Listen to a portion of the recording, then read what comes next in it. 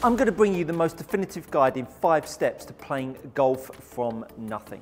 Whether you are a seasoned golfer, whether you are a complete beginner, this video will have something to offer you. I hope to revolutionize beginner's golf. The first thing, number one, and you will know what it is if you are a regular to my channel, it is the golf grip. The golf grip is essential. So much so that I'm going to show you three grips. First of all, we are going to talk about the weak grip. This is when the left hand with the knuckles are sh not showing enough, whether the, the palm of the left hand is looking up to the sky, the palm of the right hand is looking to the floor. This will make your club face open in the backswing. This will allow you to be as weak as a kitten when it comes to hitting shots. It will make the club face fan itself open. It will cause you to have to rotate your forearms through strike. It can be done. Let me tell you people, it can, can be done, but it is pretty rancid. Then we've got the other golf grip, the super strong one. But there's one in between that. There is the neutral one, the one that the mighty Leadbetter, the mighty Faldo, inspired a generation. I was one of them. I was Cartwright, cart it right. Yes, that was my nickname as a golfer. Cart it right, Cartwright. When I used to stand there with my lovely Leadbetter grip, thumb down the middle, right hand on top, get the toe up to the sky, get the toe hang up there, get that cup in the wrist, and then pacify your arms through strike.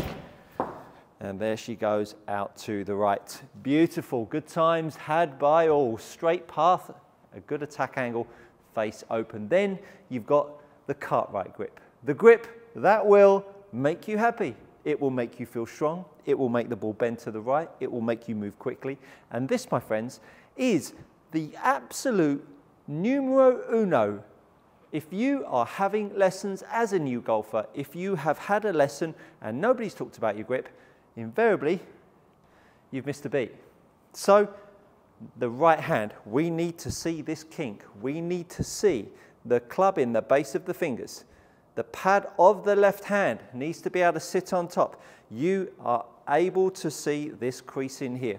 Then when you make a swing, the right hand, let it sit where it likes. But that crease, that crease that's down the lifeline, that wants to sit nicely on top. Base of the fingers, middles of the fingers of the right hand, let it sit in there nicely. Then when we come to swing, then when we make some odd movements, we get away with a lot of it because that club face is going to come back pretty darn straight. So if you are not in a place where your hands on the golf club allow you to move, allow this implement to swing all over the place, you are going to miss a beat because the face will have less chance to come back pointing in the right direction. And if you are a new golfer, if you are a seasoned golfer, if the golf ball bends off to the right, you are someone forever trying to close the club face.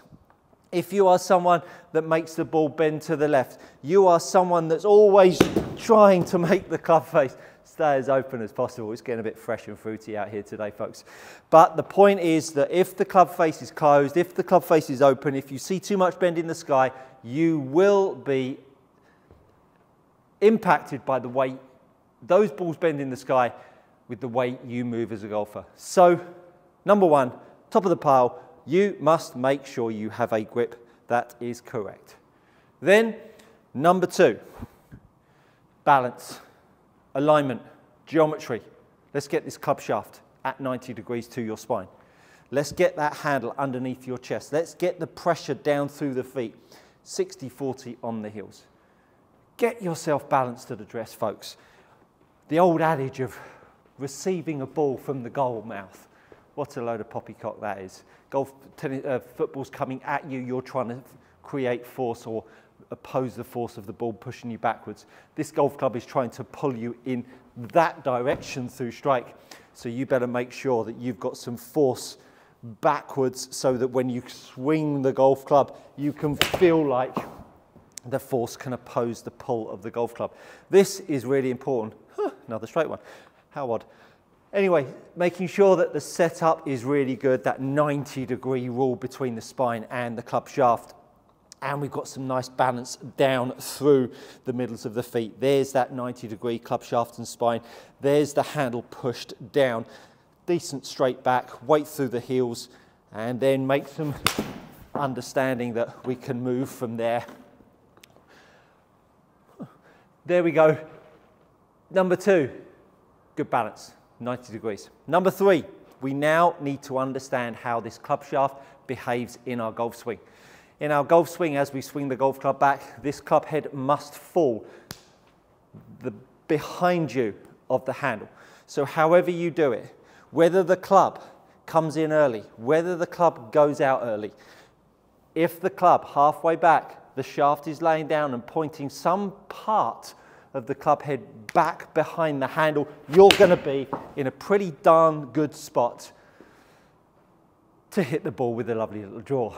If, however, when you take this golf club back, you have the club a little bit too lined to the target. If you've got the club shaft lined to the right, what will happen is that the club head will try to open itself up on the way back down and the ball will bend away to the right. Then what you end up with is someone telling you you're coming over the top of it, you need to get more inside it, and then that will open the face even more, and then you'll be trying to close that club face over like a good one. So as you go back, it is very important that this club shaft lays down behind the handle so you can then start to feel the same thing on the other side.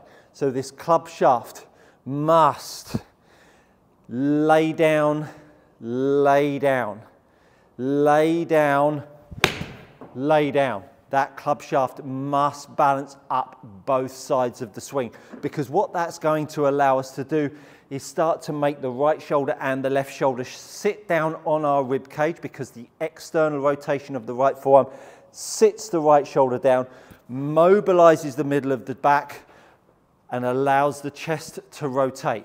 In the same way, the left arm externally rotates, which sits down the left shoulder and allows the body to rotate through.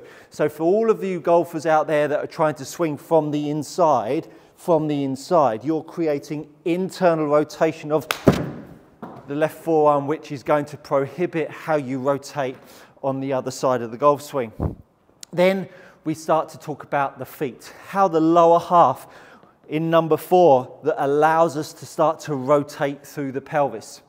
In old money, we all talked about how we need to move off to the right. And then on the way through, we must move off to the left. And we even saw the likes of Gary Player doing this run forwards nonsense. It can work. There's golfers out there that have made millions of dollars by it. But let me tell you, if you're talented, you can make a lot work. Let's think what they could have done if they knew how to do it a little bit better. So how we rotate the lower half is that we feel force oppose the direction that the handle moves it. So as the handle swings back, as the club shaft lays down, this right foot is going to push against that direction. The handle moves to the right, the right foot pushes against that. And look how it opens up. My right hip starts to allow that chest to move even more in conjunction with that club shaft laying down. So all of a sudden with the good grip, with the right hip, with the club shaft laying down, now we start to look like we're in a pretty decent spot. And at this point, you'll start to feel a little bit more pressure on your left foot because that club shaft is laying down, that right shoulder is rotating around, that right leg is lengthening, that hip rotation is starting to come into play. And we've still got that pressure slightly biased down through the heels of the feet so that when I come through that path line moves from the inside. That face angle is starting to behave appropriately because she's lined up in the grip. And then as we start to move through onto the other side here, we appreciate that that left leg is going to do the opposite because as we pushed the right leg straight, as we've pushed the right hip back, we've moved the force onto the left leg which as I start to move the golf club down, that left leg is going to now push back in the same way the right leg pushed on the way back, which then opens up my left hip and allows the golf club to swing around. So we've talked about the grip, we've talked about the posture, We've talked about how the club shaft lays down.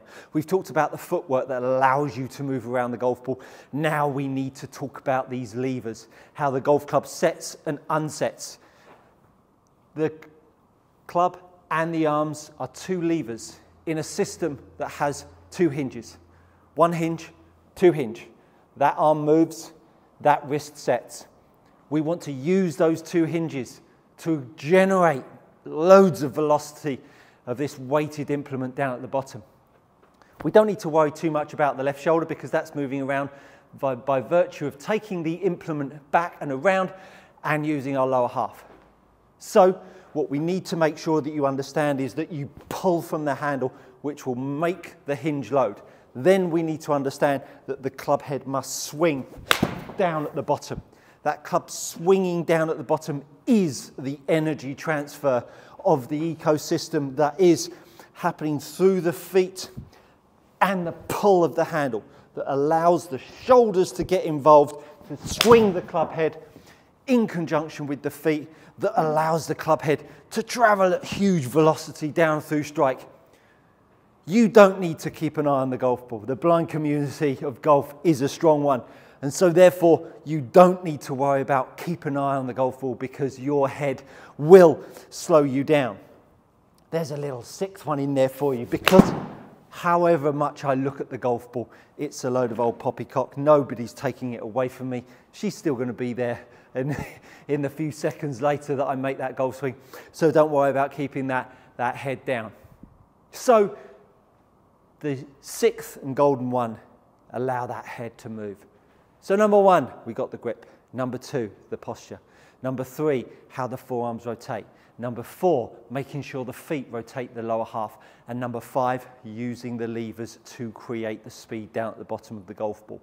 And if you apply those five simple rules of movement that we're all very, very good at, but if we hold the face in the wrong direction because of the grip, number two, number three, number four, number five, and number six gets compromised.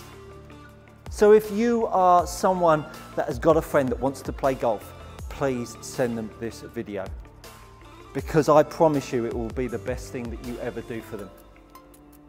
If you are a seasoned golfer, drop me a comment in the box below and share with me one of those ingredients that made a difference to your game. But I promise you, this game is much, much, much, much, much much easier than you believe it to be. And I think you'll find that, my friends, is good coaching.